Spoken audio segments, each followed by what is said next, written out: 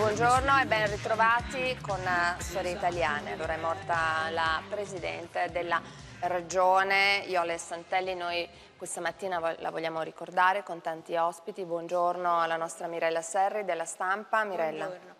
Beh, eh, direi che un pensiero a Iole Santelli va sicuramente eh, Presidente della Regione Calabria, poi lei è stata um, una donna veramente molto forte e molto determinata. Se noi andiamo a scorrere il suo curriculum è fittissimo di attività, senza, di attività politiche, eh, senza un attimo di tregua, nemmeno negli ultimi giorni eh, in cui lei stava bisogna dirlo, veramente molto male, ha lasciato il suo posto di lavoro. Ebbene, lei esordisce come eh, socialista, poi passa a Forza Italia, ma ha avuto incarichi importantissimi, ne voglio citare uno, anche quello mh, al Ministero del Lavoro, di sottosegretario, quindi un incarico assolutamente di grande responsabilità.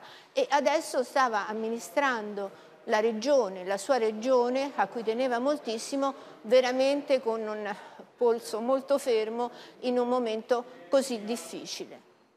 Eh, buongiorno a Don Gaetano, Saracino, buongiorno. Don Gaetano. Sì, certo, ecco, innanzitutto il cordoglio ai parenti stretti e ai familiari, ma anche a quanti in queste ore si stanno stringendo attorno a questa che è una notizia che ha sorpreso per davvero tutti, che però ci dice anche una cosa, come anche nelle istituzioni, spesso tanto vituperate, ci sono persone vere che vivono anche le loro singolari battaglie, mettendo davanti però quello che è lo spirito vero del servizio alle istituzioni. Uno che accetta una che accetta anche una sfida del genere, l'abbiamo vista in campagna elettorale più volte assentarsi all'ultimo perché aveva problemi di salute, ma che ha comunque accettato questa sfida e poi rimboccandosi le maniche si è messa davvero a, a, fare un qualcosa di molto concreto per quella regione, sebbene questi sono mesi dove le valutazioni e i bilanci non, sono certo ora, non è certo ora il momento di farle.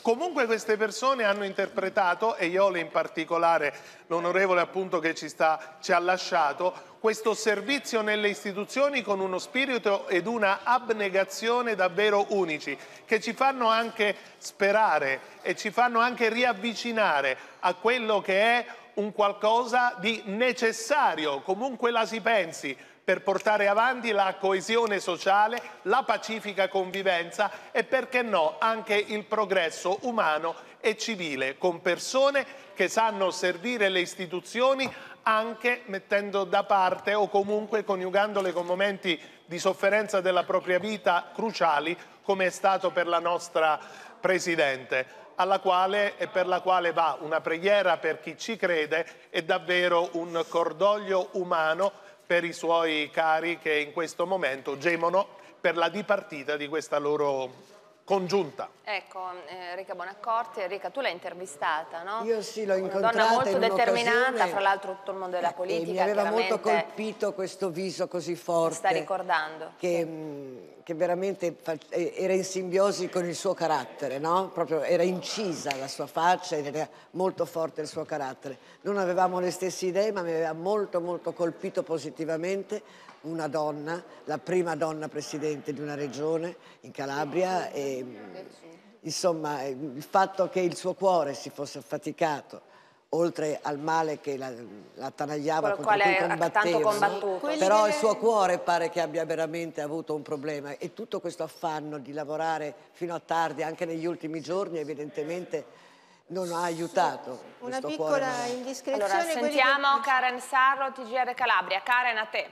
Sì, buongiorno, la conferma arriva questa mattina, è morta la Presidente della Regione Calabria Iole Santelli. Dal 2014 la Santelli combatteva con un tumore, è nata a Cosenza e aveva 52 anni. A trovare il corpo senza vita questa mattina sarebbe stata la sorella. Le sue condizioni si sarebbero aggravate negli ultimi giorni, ma questo non le aveva impedito di continuare la sua attività politica e istituzionale. Iole Santelli infatti fino a ieri sera era nel suo ufficio alla cittadella regionale. In queste ultime settimane la governatrice è stata molto impegnata sul fronte dei provvedimenti per contenere il contagio del coronavirus.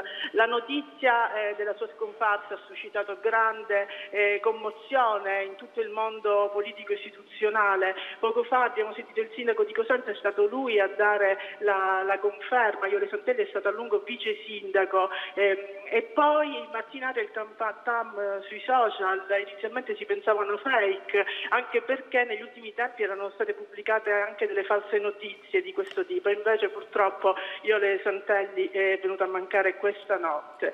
Eh, se vogliamo ricordare un po' il suo percorso politico, ricordiamo che la prima elezione alla Camera è avvenuta nel 2001, poi Iole Santelli è stata sottosegretaria alla giustizia dal 2001 al 2006 nei governi Berlusconi, ancora sottosegretaria al lavoro e alle politiche sociali da maggio a dicembre del 2013 nel governo Letta. Ehm, Dunque, eh, come dicevamo, il mondo politico è sconvolto, abbiamo, eh, avuto, eh, ci sono le agenzie ovviamente che testimoniano eh, le dichiarazioni di tutti, di gran parte dei governatori regionali, ma anche di tutti i leader del mondo politico. È una notizia davvero eh, inaspettata per tutti. Eh, grazie a Karen Sarro, magari ci sentiamo più tardi, cordoglio da parte di tutto il mondo politico ovviamente nel ricordo di questa straordinaria donna politica. Eh,